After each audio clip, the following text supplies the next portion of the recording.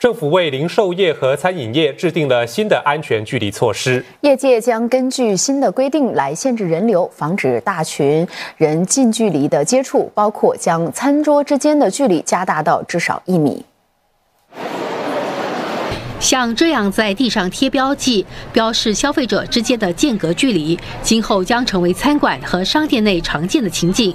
这是为了预防大群人近距离聚集，导致冠病疫情在社区传播的新举措。食客还是可以同桌进餐，但餐馆必须移开一些座位，加大不同餐桌之间的距离。If someone was to cough besides you, at least you feel more reassured that maybe the germs won't travel that far. 不管餐饮食肆大小，都需要遵循这些举措。当局鼓励咖啡店和食阁也采取同样措施。我们不能够跟以往一样，就是没有做出任何的改变。啊，这个要做出某一方面的一些调整。商家、员工，甚至顾客，大家都需要在生活习惯、社交习惯做出一些调整。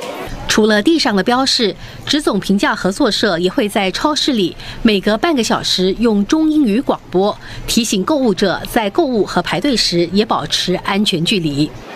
Particularly when it's when they bought a lot of things, you know, the time at the checkouts is usually a bit longer than when you're browsing and picking up your items.